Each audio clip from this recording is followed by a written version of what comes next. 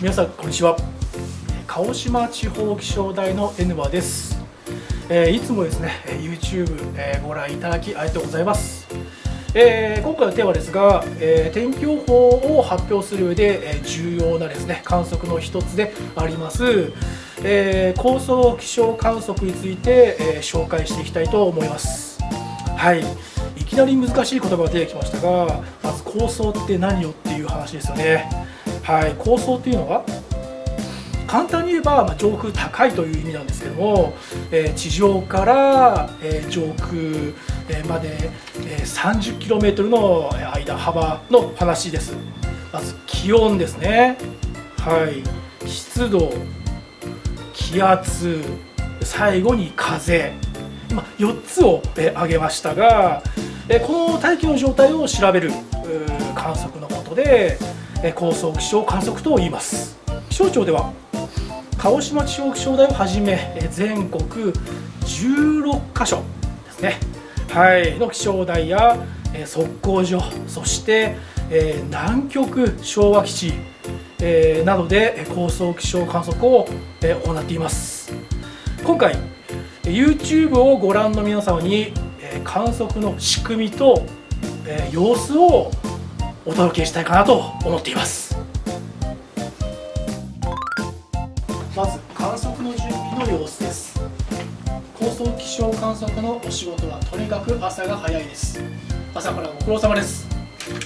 棚からいろんなものを持ってきていますね。ビニール袋紐風船白い箱のようなもの。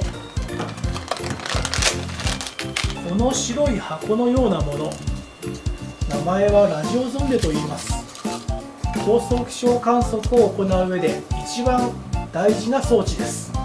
この中には気温湿度を観測するセンサー。そしてこの気球が今どこにいるよというのを知らせるための GPS や無線などの通信のための装置とそれらを動かす電池でできています。センサーで気温湿度は観測しますが気圧と風は GPS とラジオゾンでの信号を処理することで求められます。さて今行っているのは観測の前にこのゾンデが壊れていないかを確認する点検作業です。点検内容はざっくりと装置やセンサーが壊れていたりちゃんと正常に観測できる状態かを調べるといったところです。おどうやら問題なかったようです。点検が終わったらこのゾンデにこれは気象台が飛ばしたものですよ。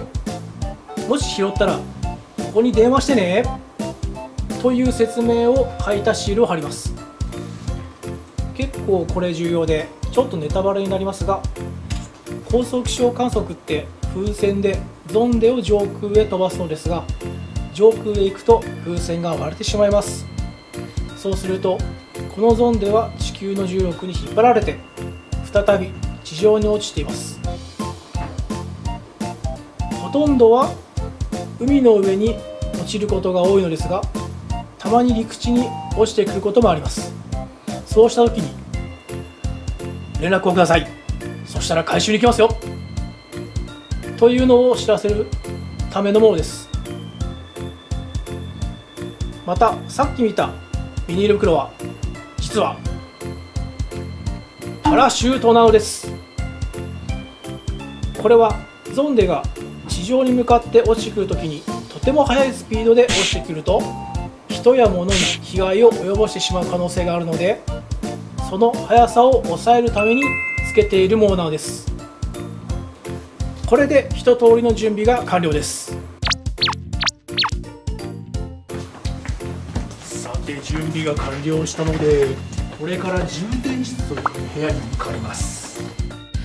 この充電室ではさっきちょっとネタバレしちゃいましたがラジオゾンデを上空へ飛ばすための風船を膨らますための部屋です。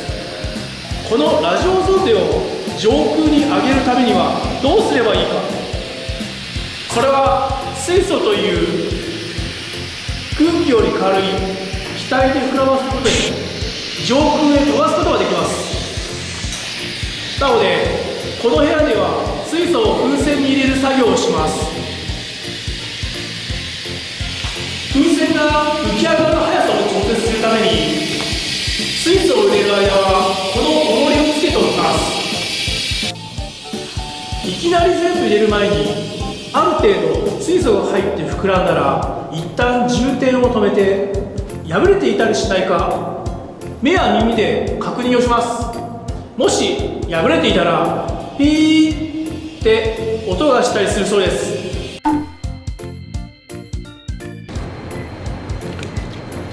これから気球パラシュートゾンデをそれぞれ紐で結びます。このゾンデなんですが事前にセンサーを空気に当てたり GPS や無線の通信をさせる準備があるので外で風に当てておきました。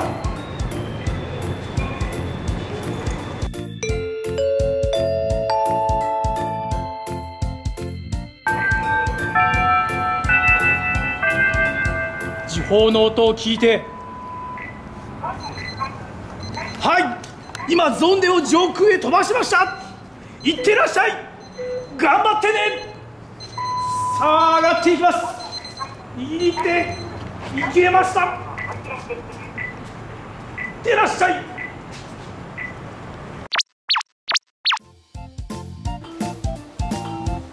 ここからは観測データの確認とゾンデが上昇しているか落下しているかなどの監視作業です。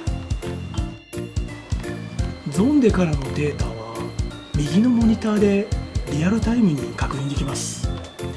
気温とか湿度などデータが入ってきてますね。お？このグラフ何ですかね？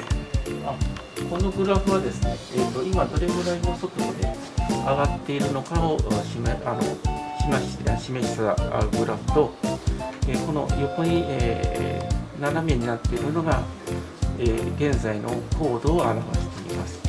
で大体、えー、6メーター前後が、えー、最適にデータが取れる風速なんで今の、えー、状態を見ると安定的に6メーター前後6メ1秒間に6メーター前後で上がっているというのが分かりますなるほど風船はこのまま上昇を続けていきある一定の高度に達すると伝聞が作成発信されるのでその内容も確認します。この伝聞から天気図が作られたり数値予報の計算データのモドデータになるそうです。鹿児島観測処理が終了しました。今落下地点を調べているところです。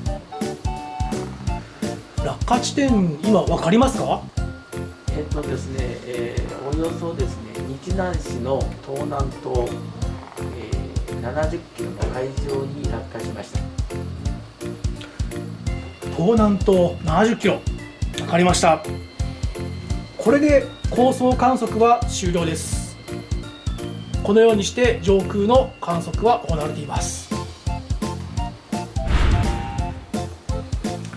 はいいかがだったでしょうか、えー、高層気象観測ってなかなか身近に見られない観測なんですけども、えー、結構重要な観測なんです。通常1日に2回しか行われない観測なんですけども台風が接近する時やえ去年からはえ線状降水帯の把握のためにえ集中観測などを、え臨時でえ行うこともあります。このようにして上空の状態を把握しながら天気予報に生かされているわけです。さてこの高層気象観測鹿児島の観測が何やら変わるという噂を聞いたのですがはいえっとあどうやら今日はね、えー、ここまでです。次回その鹿児島の高層観測が変わるということについてお伝えしたいと思います。本日もえーご視聴ありがとうございました。チャンネル登録もよろしくお願いします。それではまたね。